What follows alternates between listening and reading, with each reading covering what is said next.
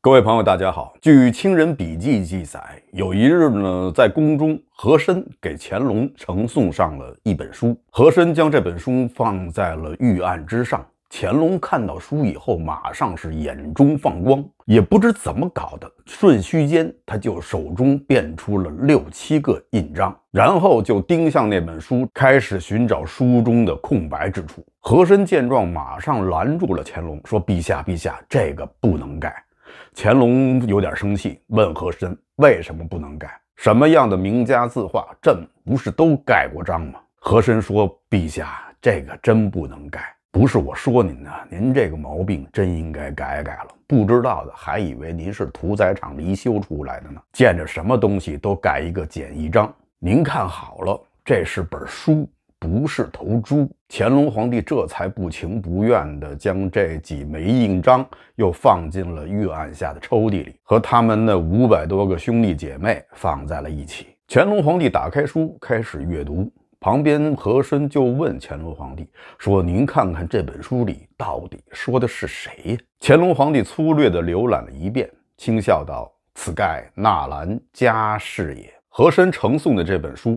正是后来闻名天下的《红楼梦》。《红楼梦》明明是曹雪芹所著，讲的也是曹家几代人的经历。曹家的历史在这部书中可以说是随处可见，特别是曾经四次接驾康熙的历史，这个是其他的官员从没有过的。那么乾隆为什么不说这是曹家的事，而说是纳兰明珠家的事呢？当然，或许乾隆毕竟只是粗略看一遍，他并没有把这本书中的细节琢磨清楚。而且呢，这本书中又用了很多的隐喻，就是我们知道的“假作真来，真亦假”，其中有贾家，还有一个甄士隐的真家。乾隆皇帝满脑子想着找个空地儿盖章，可能也就忽略了那些细节，所以他说这是明珠家事。但即使是这样，也可以断定。《红楼梦》中所记述的事情很多是与明珠家的经历有相同之处的，所以也就难怪乾隆会做此结论。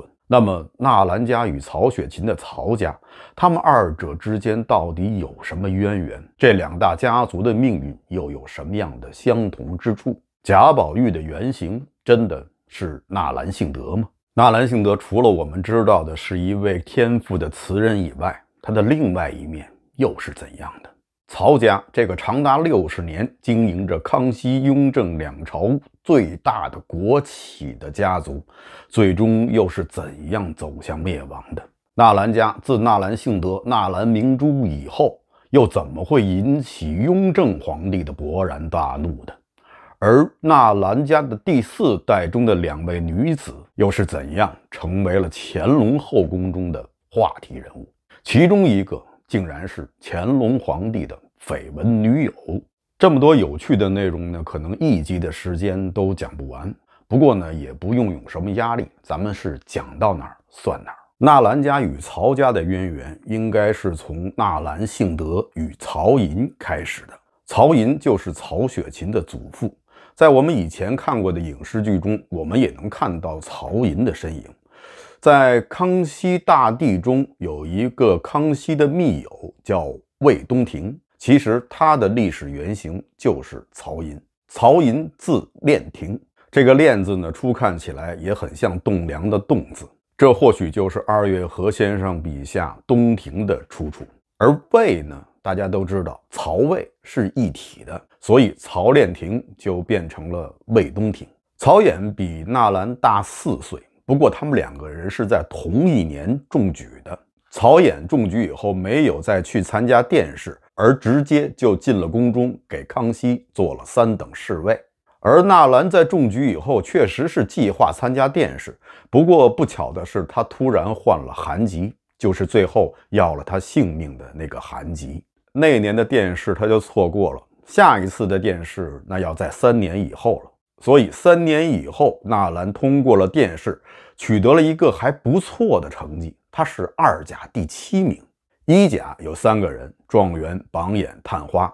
二甲呢，十个人，他得了第七名。也就是说，在那一届的学子中，他是全国第十名，这已经是一个非常不错的成绩了。一甲赐进士及第，二甲赐进士出身，三甲只能是赐同进士出身，那就差了不少了。中了进士以后，纳兰并没有马上就进宫做侍卫，而是过了一年以后才进到了皇宫，开始与曹寅做同事。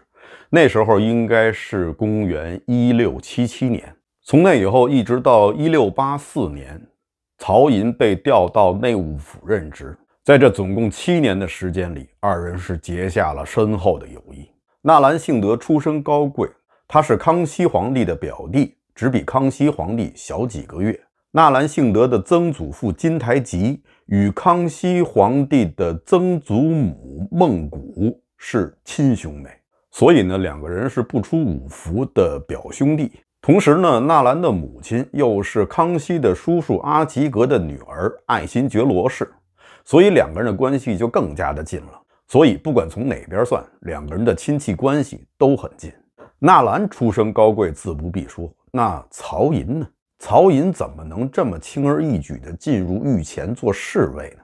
他是一个汉人，又跟康熙攀不上什么亲戚。曹寅的祖上是正白旗阿基格的包衣，所谓包衣呢，是满语，汉语就是家奴，算是纯度很高的奴才。后来正白旗归多尔衮掌管，多尔衮死了以后，顺治皇帝就将正白旗收入了自己的手中。加上正黄、镶黄，这就构成了八旗中的上三旗。上三旗的地位高，上三旗的包衣自然也是水涨船高。与其他五旗相比，上三旗的包衣可以说是配姓赵的。曹寅的父亲曹玺以及他的爷爷曹振彦以前都是武将，都是跟随着多尔衮四处征战的。父子二人也跟随多尔衮参与了平定大同总兵江襄的叛乱的战事。平定大同叛乱之战，大家可能不太熟悉，但如果我说大同屠城的话，大家应该不会觉得陌生。那么，他们父子二人有没有参与大同的屠城？手上有没有沾无辜汉族百姓的鲜血？这一点呢，红学家们有不同的看法，咱们在此呢也就不再细究了。但至少二人当时是随军的，而且也是军官，这一点是毋庸置疑的。《红楼梦》中的焦大为什么这么狂？谁也不敢惹，就是因为他当年在死人堆中将他们的老太爷拉了出来。老太爷喝水，他喝马尿，才让老太爷活了下来。这应该指的就是曹振彦与曹曦父子二人的军旅生涯。曹振彦后来武转文，进入文职，后来还当了大同的知州。这就是曹家今后的发展，算是步入了正轨。但真正使曹家进入发展快车道的，还是要感谢曹溪的夫人孙氏。孙氏是康熙的保姆，当年是太皇太后孝庄亲自选的孙氏做了康熙的保姆。有人说是康熙的乳母，这应该是不对的，因为在清朝做乳母的条件应该是在十五岁在二十岁之间，而且生过三个孩子。而那时候的孙氏已经是二十三岁，年龄不合适。最主要的还是孙氏那时候根本就没有生育，所以她不可能做乳母。孙氏应该是在十几岁就入宫，一直在宫中做宫女或者是女官，直到被太皇太后选为康熙的保姆。康熙自小就没有得到过任何的父爱或者是母爱，因为他刚一出生不久就被抱出宫抚养。因为那时候太皇太后担心他会染上天花，所以康熙自小得到的近似于母爱的，来自于女性长辈的关爱，很多都是来自于他的保姆或者是乳母，所以自然康熙对他们的感情也就很深，自然对他们的后代也是照顾有加。康熙的一名乳母的后代后来做了苏州织造，叫李旭，他的妹妹嫁给了曹寅。在《红楼梦》中，李旭的李家就是史湘云史家的原型。有人说孙氏是曹寅的生母，其实呢不大可能。孙氏更有可能是曹寅的嫡母，而不是他的生母。大家想啊，康熙是出生于顺治十一年，那也就是说，孙氏从顺治十一年开始就一直陪伴在康熙的身边，而曹寅是出生于顺治十五年。这时候康熙才不过只有四岁，作为康熙的保姆，是不可能离开康熙出宫与人结婚生子的。孙氏出宫很可能是在康熙七岁以后，这时候孙氏也已经到了可以出宫的年龄，她才出宫。后来嫁给了曹熙，因为她是康熙的保姆，地位特殊，所以曹熙不能将他作为侧室，只能是正室。而曹熙之前是有家室的，而且生下了曹寅，所以曹寅应该是庶长子。他还有一个弟弟。他的弟弟曹全是后来孙氏所生，那才是真正的嫡子。曹寅也没有做过康熙的伴读，因为那时候一般是五岁开蒙。康熙五岁的时候，比他小四岁的曹寅才只有一岁，而等到曹寅五岁的时候，康熙已经是九岁了。五岁的孩子和九岁的孩子读书的程度水平相差非常之大，两个人是不可能伴读在一起的。而且有史料表明，康熙八岁登基，登基以后，曹寅就已经到了江宁，跟他的父亲曹熙住在一起。一六八四年，康熙第一次南巡的时候，就驻跸在了曹寅的家里。当时，曹寅的嫡母孙氏要以君臣之礼参拜康熙，康熙马上就上前扶住了孙老夫人，而且还对身边的人说：“此物家老人也。”意思就是说，这是我们家的长辈。而且啊，还手书“宣瑞堂”三个字，“宣”就是萱草，在中国古代这是母亲花，“宣堂”也就是母亲的象征。可见，在康熙皇帝心目中，孙氏的地位是非常高的。这也就难怪康熙对孙氏的子孙一向是厚待有加。曹家在康熙一朝的兴盛，除了孙氏的原因以外，曹玺以及曹寅的工作表现也为他们增色不少。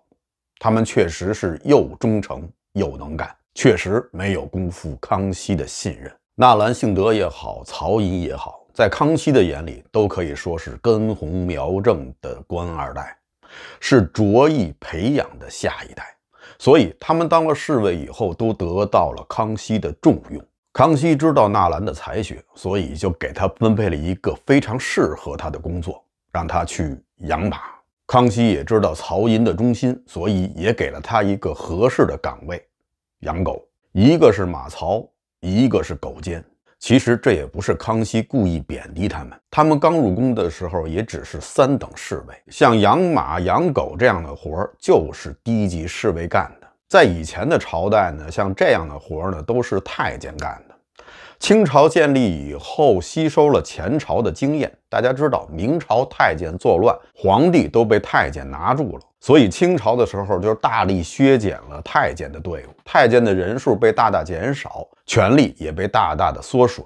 以前很多太监做的工作都交给了内务府来执行，那自然也就成了侍卫的事。那有的朋友可能会说，像纳兰这样的全国前十名，怎么会落到养马这种境地呢？这是不是太大材小用了？那还不如在翰林院找个差事呢，至少比养马光彩些。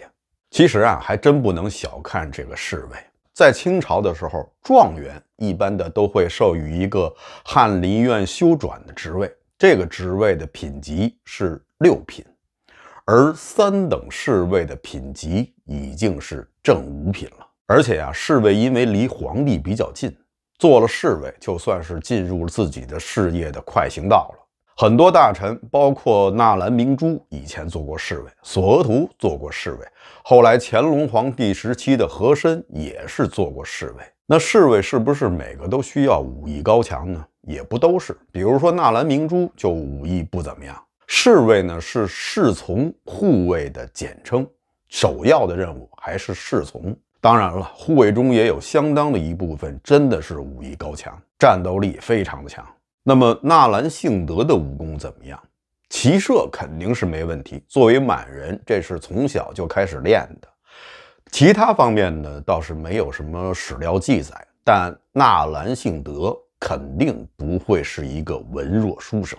据史料记载，康熙曾经派纳兰性德和一位副都统一起率兵去东北的索伦。索伦又叫梭龙，这个地方呢，基本上就在东北的黑龙江流域，靠近雅克萨。这次纳兰性德的任务就是以捕鹿为名，实际上是到雅克层城下进行侦查。一六八五年五月三十日，纳兰性德去世。在他去世的三天以后，康熙也收到了雅克萨大捷的消息。当时，康熙皇帝是大动不已，他想起了当年纳兰的侦察工作为雅克萨大捷做出的贡献，所以马上派人去纳兰府祭奠。这明显是告慰英灵的意思。还有一次是在西园，纳兰当时正在服侍康熙。突然遇到了险情，当时情况紧急，众人呢都非常的慌乱，唯有纳兰性德奋勇为辽有先。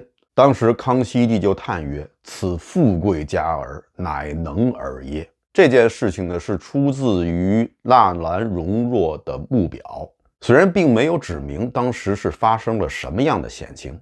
后来呢，有些学者认为这很可能是康熙十八年的一次地震。但不管怎样，在危急关头，纳兰的勇气和担当赢得了康熙的尊重。纳兰也绝对不会是一个文弱之人。从这点上来看，纳兰性德与贾宝玉就有着非常大的区别。纳兰是文武兼修，贾宝玉武的肯定不行。即便是论文，当时的纳兰性德已经是冠绝当世，而贾宝玉的才学恐怕在大观园里都排不上号吧。所以啊，纳兰性德与贾宝玉最大的，也可能是唯一的共同点，就是他们都是多情之人。曹寅与纳兰共事七年以后，曹寅呢就被调到了内务府，然后又由内务府调任苏州织造，而纳兰则是一直做侍卫，从三等侍卫一直做到了一等侍卫，正三品。纳兰与曹寅的最后一次见面，很可能是在公元一六八四年。那是康熙皇帝的第一次南巡，纳兰自然是随同前往，在江宁，就是现在的南京，见到了曹寅。一年以后，纳兰就去世了。十年以后的某一天，时任苏宁制造的曹寅邀请好友张纯修、施世伦三个人相聚在曹寅的府中的练亭，在那里怀念他们共同的朋友纳兰性德。三人中的施世伦就是后来施公案中的施公，他与张纯修都是纳兰性德的好友。三人在一起回忆起了与纳兰性德在一起时的点点滴滴，时而大笑，时而怅然落泪。张纯修特意为这次聚会画了一幅画，就是有名的《练亭夜画图》。曹寅也写了一首诗，名字叫《题练亭夜画图》。诗中有这样几句：“一夕宿卫明光宫，冷且山人貌姣好。马槽狗奸共朝难，而今触痛伤枯槁。”其中的明光宫指的是汉朝时的皇宫，在这首诗中呢，就代指皇宫，是回忆他们当侍卫的那些日子。两个人，一个是马槽，一个是狗奸，因为两个人关系非常亲密。所以他们可以互相的开玩笑。冷且山人是纳兰性德的号，曹寅还特别提到冷且山人貌姣好，就是想到当年宿卫皇宫的时候，冷且山人的风采在黑暗中仍然是明亮可见。男人之间很少称赞对方的相貌，从这首诗中也可以看出来，纳兰性德的帅给曹寅留下了很深的印象。这首诗中还有另外两句，在后世人们提到纳兰的时候被经常的引用，就是“家家争唱饮水词，纳兰心事几曾知”。饮水词就是纳兰的诗集，每个人都喜欢唱纳兰的诗词，但纳兰的心事又有几个人知道呢？但毫无疑问，在座的这三个人都是纳兰的知音，纳兰的心事他们懂。纳兰性德最后葬在了纳兰明珠家的祖坟所在地，现在的北京市海淀区上庄造君庙。纳兰的墓碑现在还保留在首都博物馆。撰写碑文的是他的老师徐乾学，撰盖陈廷敬，丹朱高士奇。顺便说一句，纳兰性德的爱妻，他的一生挚爱卢氏，曾经停就达一年之久的双林禅院，就是现在的紫竹院公园，那也是在下曾经生活和战斗过的地方。诸位如果有幸在西直门立交桥上盘旋的时候，往西看就是双林禅院。那么曹家最后又是怎么败落的呢？关于这一点呢，有两种说法。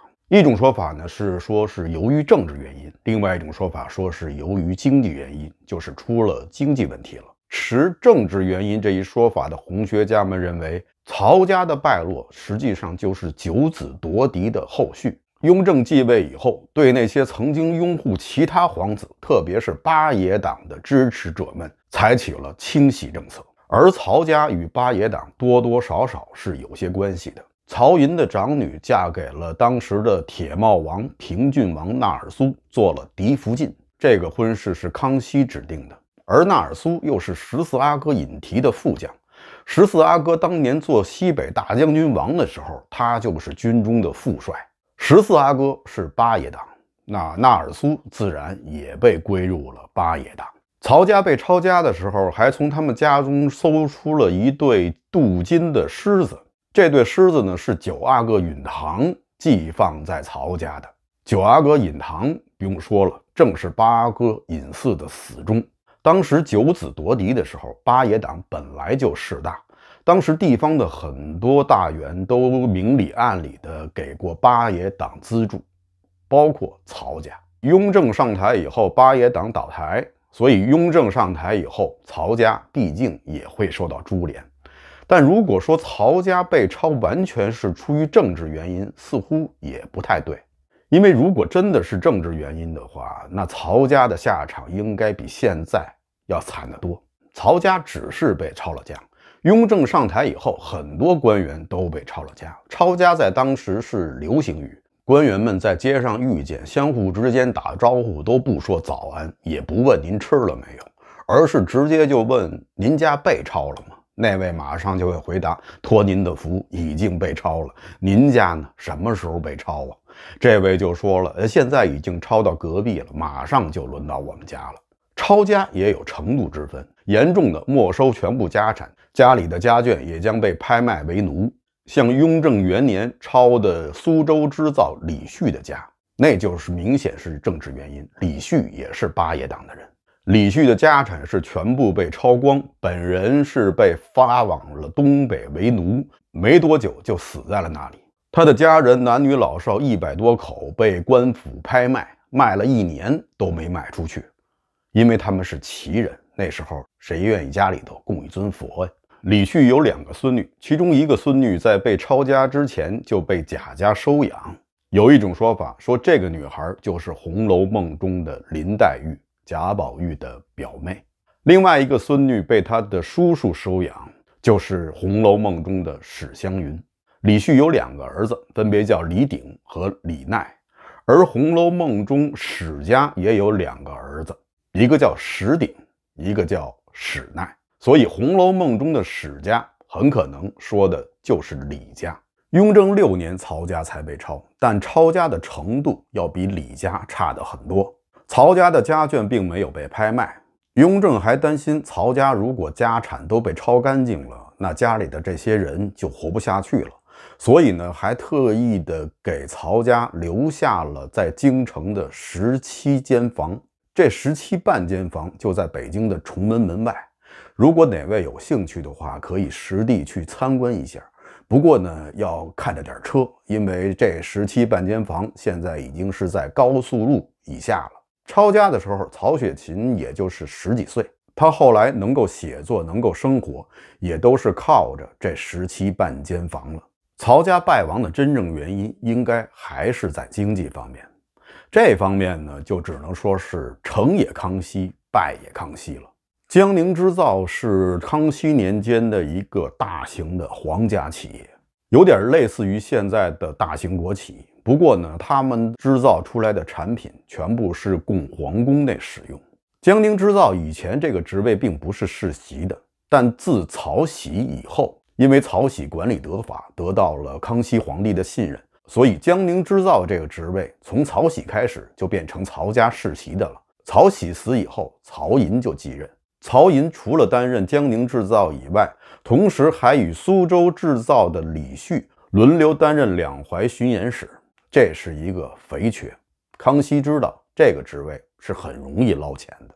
这也是康熙故意安排的，就是想用盐税弥补一下江宁制造和苏州制造上面的亏空。本来呢，这一切都运行的非常好，而且康熙还给了曹家密折专奏权，这个权力就很大了。有的地方大员都不具备这个权利，所以曹家在地方的影响力非常大，甚至有时候超过了那些封疆大吏。这一切本来都运行的挺好，不过到了后来，康熙不知道什么时候喜欢上了说走就走的旅行，他非常的喜欢南巡。皇帝南巡绝对不是一件简单的事情，不可能背一个背包、骑个驴就出去了，那是有大队人马、几千随从，而且康熙还喜欢看戏，沿途都要搭建戏台，这对于沿途的地方官来说都是一个巨大的负担。康熙也知道，如果他每次南巡都从国库里拿钱的话，恐怕户部的官员会跟他抱怨，他自己的面子也过不去，所以他六次南巡。其中有四次都驻跸在了江宁织造府，就是由曹家负责接待，接待的费用自然由曹家负责，不用从国库里拿银子。这样的话就避开了官员们的抱怨。可倒霉的就是曹家了，曹家当时真的是花钱如流水，这也造成了曹家巨大的亏空。康熙知道曹家亏了。所以他就让曹家、李家多担任几年的两淮巡盐使，让他们能从中多捞些银子来弥补南巡的亏空。实际上，这不过是从国家该征收的盐税中拿出钱来弥补南巡的亏空。归根到底，还是用国库的钱为康熙的南巡买单。但即使是这样，康熙也隔三差五的就下来溜达一圈，也是让曹家的亏空是越来越大。这自然就招致了官员的弹劾。康熙无奈，也只能让曹家尽快弥补亏空。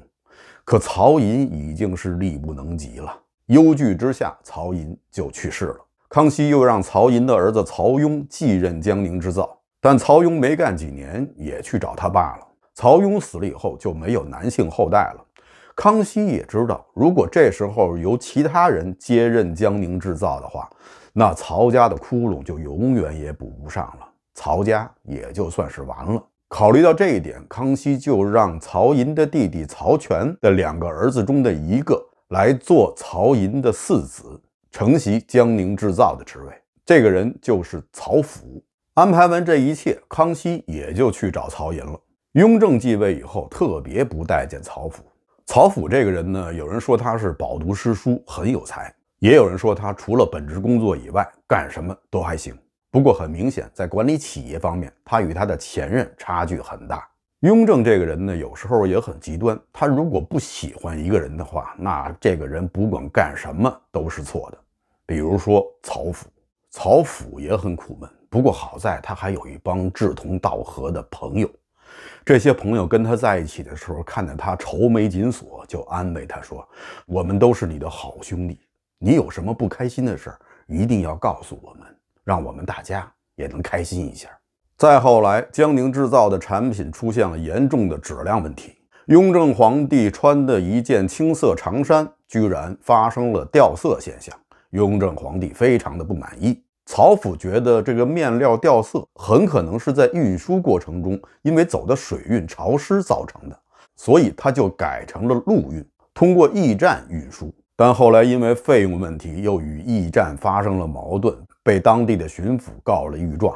其实总共就四百两银子的事儿，但雍正还是借此将曹家抄了家。以上呢就是曹家的败落过程。因为涉及到了很多红学的内容，而红学呢，大家也知道，在很多问题上都存在着很多的争议，有很多种不同的说法。我所说的只是一种说法，并不是定论。曹家完了，那纳兰家呢？纳兰家自纳兰性德、纳兰明珠去世以后，纳兰性德的弟弟纳兰魁树以及纳兰家的其他家族成员。雍正朝以至于乾隆朝又经历了怎样的灾祸，掀起了多大的风雨呢？这个咱们只好留待下回再分解了。好的，以上就是本期节目的全部内容，感谢大家收看，欢迎大家点赞订阅。这里是风下杂谈，Frank 为您带来有温度的历史，咱们下期节目再见。